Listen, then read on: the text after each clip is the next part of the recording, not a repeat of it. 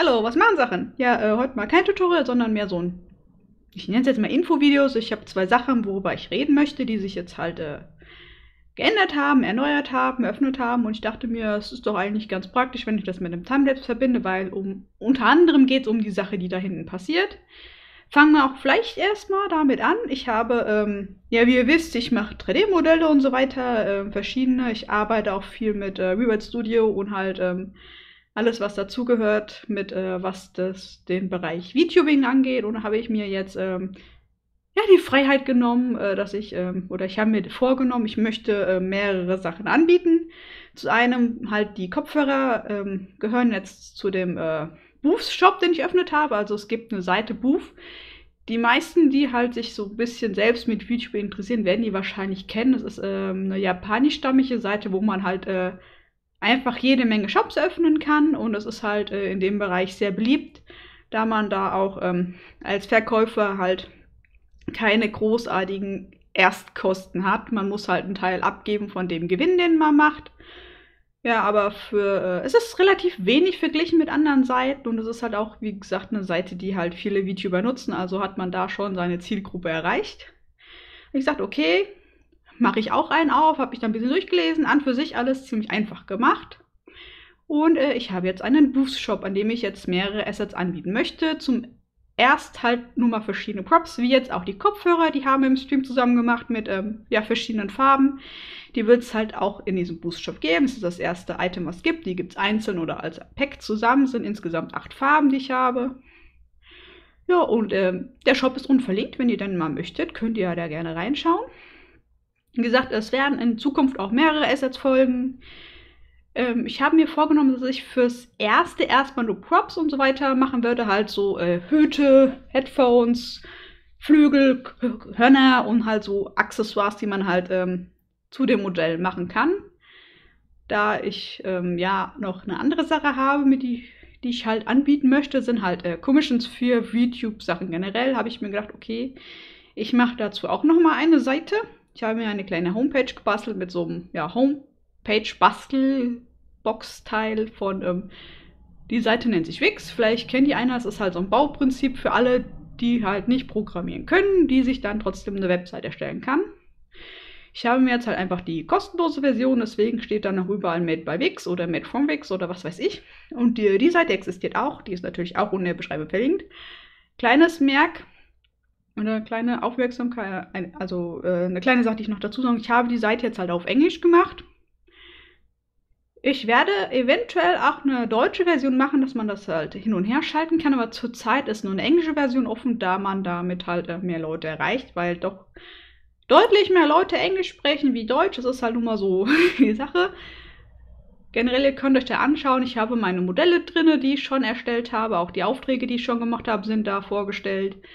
Äh, eine grobe Preisliste. Man kann ja nicht immer genau sagen, ich mache für alles den gleichen Preis. Je nachdem, wie aufwendig ein Modell ist, ist ein Preis angegeben. Ihr könnt da gucken. Es sind halt einmal nur für Leute, die, also einfach nur für Modelle, die nun Rewrite haben, sind einen anderen Preis. Dann halt äh, mit kleinen Änderungen in Blender oder dann halt auch mit größeren Änderungen in Blender habe ich so drei Kategorien. Heißt dann wenn du dieses haben möchtest, kannst du mit dem Minimum diesen Preis rechnen. Um die genaue Summe, was dann geplant ist, musst du mich halt einfach kontaktieren und mit mir diskutieren, was gemacht werden soll. Dementsprechend kann ich einen Preis geben. Ich werde aber auch einzelne Änderungen machen, wenn du jetzt ein fertiges Modell hast. Zum Beispiel verschiedene Blend-Shapes hinzufügen oder halt ähm, dafür einfach ein Kostüm machen oder ein Accessoire machen halt auf Auftrag, dass es dann halt spezifisch für deinen Charakter gemacht ist oder halt, ähm, was ich auch schon gemacht habe, du hast ein Modell und hast äh, auf Boost dir auch eine Klamotte gekauft, die aber jetzt auf dein Modell nicht passt. Du aber nicht weißt, wie du das machst, übernehme ich das natürlich auch. Ich passe halt Klamotten an und alles, was halt so darum zugehört. Ja, und all das möchte ich auch anbieten. Ich kann auch verschiedene andere Accessoires und was weiß ich so alles im 3D-Bereich machen. Oder halt, wenn du dann möchtest, wie gesagt, auch komplette Modelle mit dem, was du dir vorstellst, für halt das, was du haben möchtest. Es gibt auch eine Möglichkeit, das habe ich auch mit jemandem gemacht, dass, weil, ähm, ja, es ist halt immer noch eine Kostensache, das alles kostet nachher halt Geld, weil lau mache ich das halt nicht. Das ist halt auch Arbeit, die da reinfließt.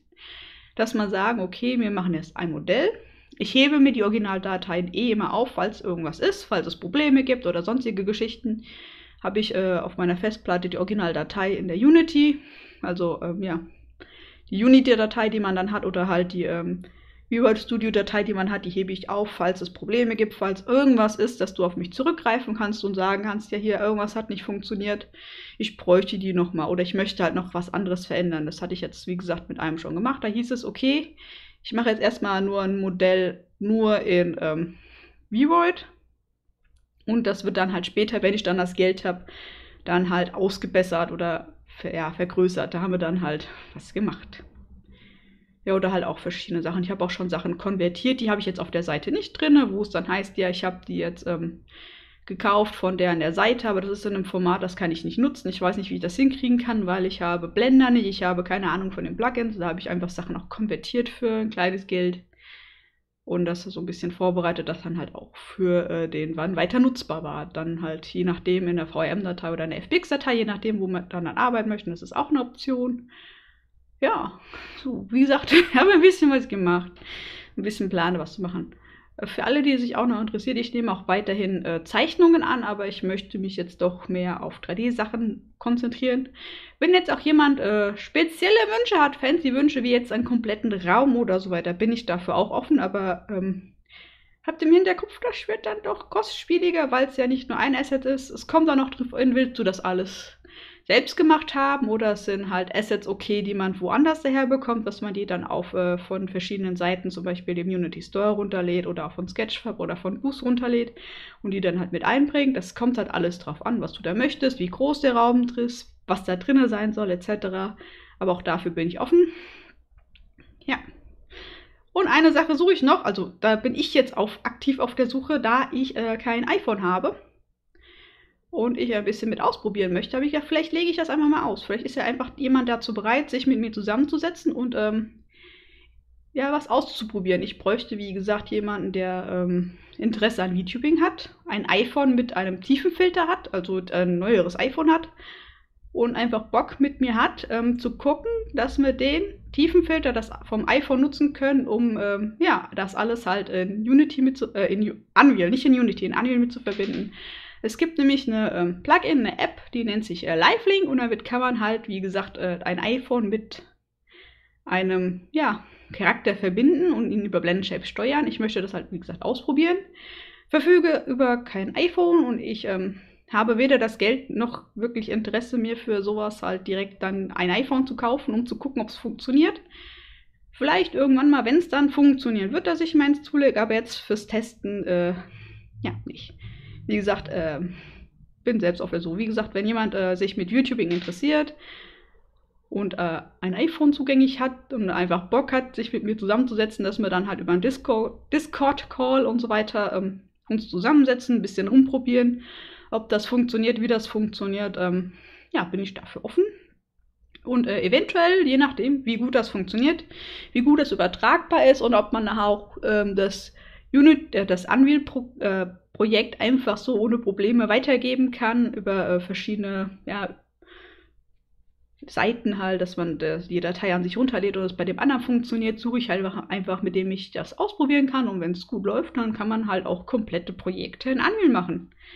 Aber wie gesagt, dazu müsste ich halt erstmal testen, ob und wie das funktioniert, wie gut das läuft, ob man die Sachen auch sicher transferieren kann, was man darauf achten muss und so weiter. Aber da bräuchte ich dann halt, wie gesagt, einen Partner, der da Lust und Laune hat, da sich einfach mit, mich, mit mir mal zusammenzusetzen und das alles mal auszuprobieren. Ja, das wäre es dann eigentlich auch schon. Dann bin ich mit meinen Sachen durch. Eigentlich ein bisschen mehr. Wie gesagt, ähm, ich wollte eigentlich nur ankündigen, ich habe jetzt einen 3D-Shop extra für VTubing auf Booth. Ich habe auch noch einen auf Sketchfab, wo halt so allgemein Zeug drauf ist, falls sich einer dafür interessiert. Aber ich werde den Booth mehr pflegen, weil das ist jetzt erstmal primär mein Ziel. Und ich nehme Aufträge an. Und äh, im letzten Stück, ja, ich suche halt auch noch für verschiedene Projekte oder momentan ein Projekt äh, Leute, die da einfach Bock drauf haben. Wenn euch irgendwas interessiert, dann guckt einfach mal in die Beschreibung. Da sind beide Seiten verlinkt. Der Shop ist verlinkt. Die Internetseite mit ähm, Aufträgen ist verlinkt. Meine ganzen Social Media Dinger sind verlinkt. Also, wenn ihr da für irgendwas Interesse habt, ihr dürft mich auch gerne anschreiben. Oder wenn ihr irgendwelche Fragen habt, sei es in Aufträge oder etc. oder ihr habt irgendwo ein Problem oder sonstige Geschichten, da lässt sich bestimmt irgendwas machen. Oder ihr habt tatsächlich Bock, einfach mal mit mir das auszuprobieren in Unreal. Ja, und dann war's das soweit erstmal von mir. Dann ähm, danke für eure Aufmerksamkeit und dann wünsche ich euch noch einen schönen Tag.